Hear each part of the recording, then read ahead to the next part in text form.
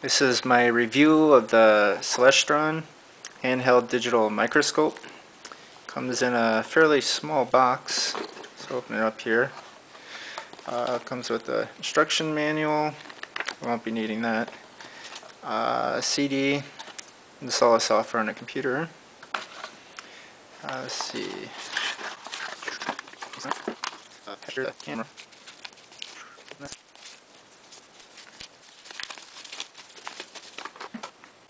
I have the camera here. You can see there are uh, LEDs inside for lighting. It has uh,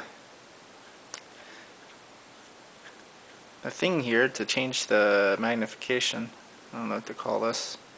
Turny thing. And it plugs in by USB here. A stand. Now, stand is actually made out of uh, metal. I thought it would be cheap plastic.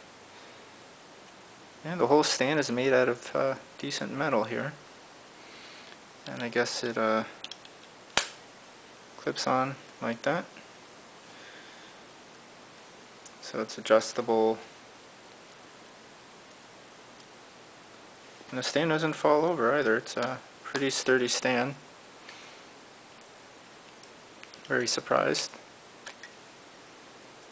Uh, there's also a take a picture button here.